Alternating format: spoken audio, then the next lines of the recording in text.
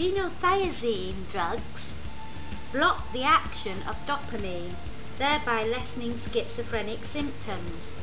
However, Harazak, whoever his name is, whoever you pronounce that, H-A-R-A-C-Z, 1982, found that this applies only to one small subgroup of schizophrenics, suggesting that not all produce excess dopamine. This would serve to reinforce the view that schizophrenics are not all suffering from the same disorder. And yet all schizophrenics are forced to take this drug by law. People. Paranoia is in bloom. The PR transmissions will resume. I try to push, try to keep us all down, down, and hope that we will never see the truth around. There are six specific challenges to psychiatry as a profession, and I have grouped them into three from inside and three from outside, so to say. From inside, there is increasingly doubt about how valid our diagnosis and our classification really are. We need a revolution to go back to where we were in the 1960s. Um, the DSM 4 is this big, the DSM 5 will be this big, and the, it's garbage.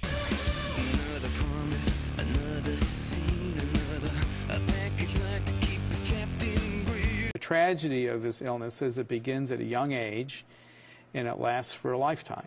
A green belts wrapped around our minds, and endless red tape to keep the truth confined. I suffered from schizophrenia for over 15 years and I've recovered. I'm medication free and symptom free.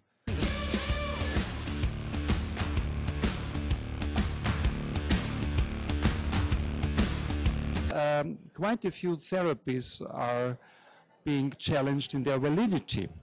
So this is especially true in pharmacotherapy. People say this medication isn't working, it's just making me feel ill. Make it looking at it saying no it's not, it's making you feel better.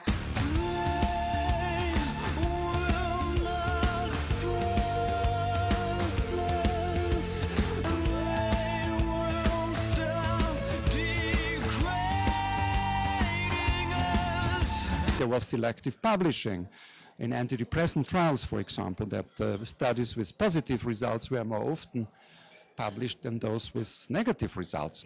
And this has been made public worldwide, also in the general press, and people are somehow losing confidence in our treatments.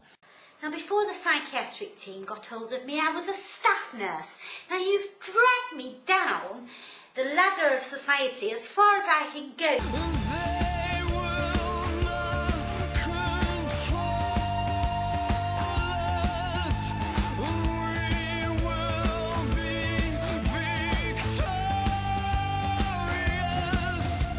We are still regarded as a somehow strange profession, also from other medical doctors.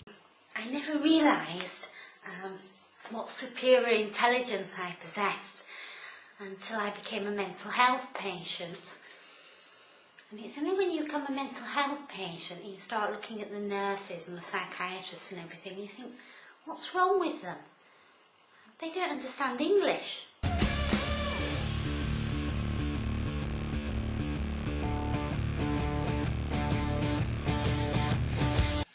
Patients and family members are increasingly criticizing psychiatrists. Psychiatry never seems to accept the traumatic events behind schizophrenia and bipolar and such illnesses.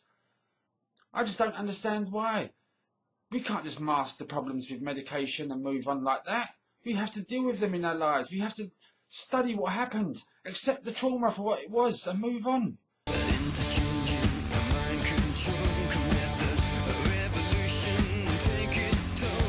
Now, once the trauma is put into its real context, and you grow up emotionally, having been frozen at two or six or whatever the infant age is, the symptoms are cured.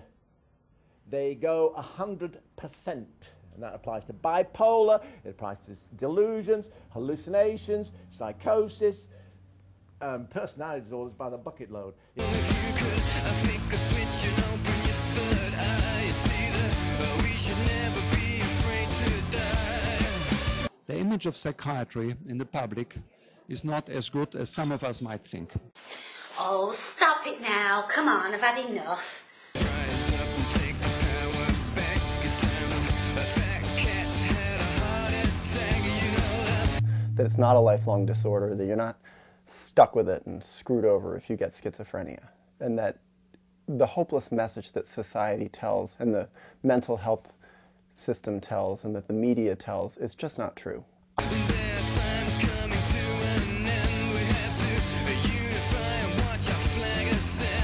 I'm a therapist. I've worked with a lot of people with schizophrenia. I've seen several get well.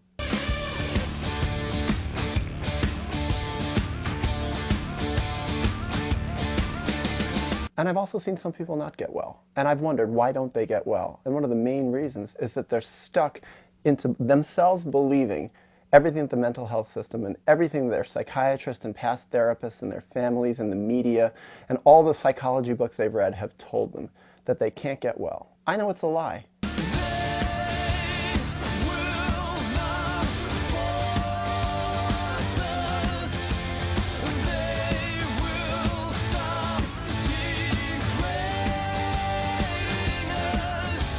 Here is a list of the drugs that sold the best in medicine uh, two years ago.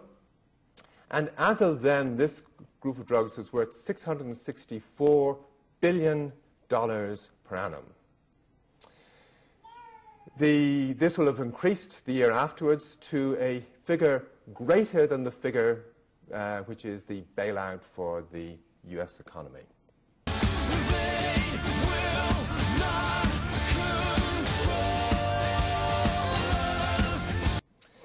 The antidepressants and the statins on their own, well, actually, the, uh, actually the psychotropic drugs uh, and actually the statins on their own, come to more than the entire cost of the NHS in the UK.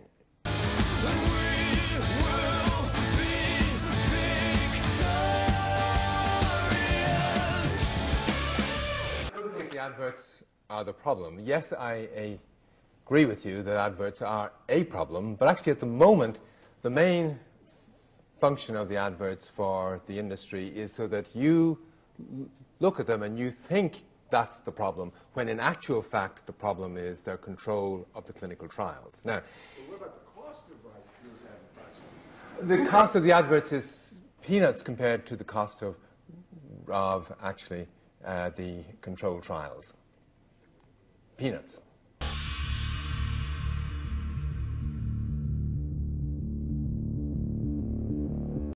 This is a talk about the failure of medicine, how people like me have failed you.